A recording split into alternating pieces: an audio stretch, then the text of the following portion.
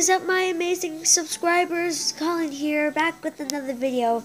And I just want to thank the people on Facebook so much for supporting me on my dabbing video. And if y'all have an account you if you if you have an account on YouTube you could subscribe to me. I'm not saying if you have a YouTube channel just if you have an account you could subscribe to me.